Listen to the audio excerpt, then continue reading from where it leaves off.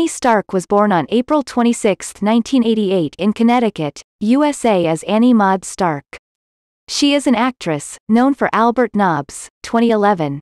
We Don't Belong Here, 2017, and South Pacific, 2001.